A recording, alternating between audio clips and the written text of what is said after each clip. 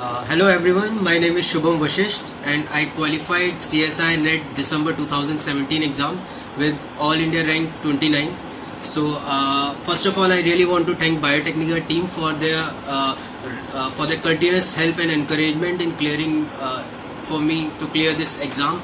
So they a special mention to all those AIMNET series all the online classes they provide, all the quizzes, all the workshops for planning this CSIR net and how to handle this exam properly and how to like uh, focus on the specific topics which you need to focus to clear this exam and and also to develop my quantitative skills to attempt part A which is very important and gives you a cutting edge in this uh, exam.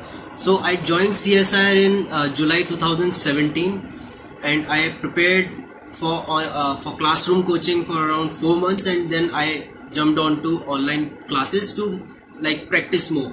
So the classes were really good. I would like to especially thank the Noida branch teachers who really helped me in the classes and out of the classes, encouraging me, providing me with all the knowledge they have, delivering a very good lecture, and also all the help and all and, and encouragement they provided me to just focus on this particular exam the classes were really fun and I also enjoyed my period over there.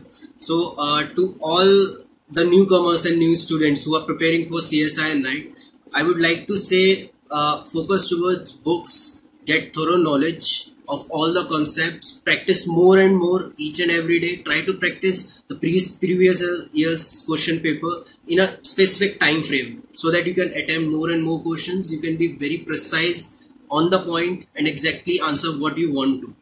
And on on the top the material that is provided by biotecnika all the aimnet series quizzes and weekly tests they are very good and they are very helpful in help in, in making you learn those concepts and and make and help you in practicing all those concepts and making you sharper even more. So just follow your interest do it with your heart and you will definitely succeed in this exam. Thank you.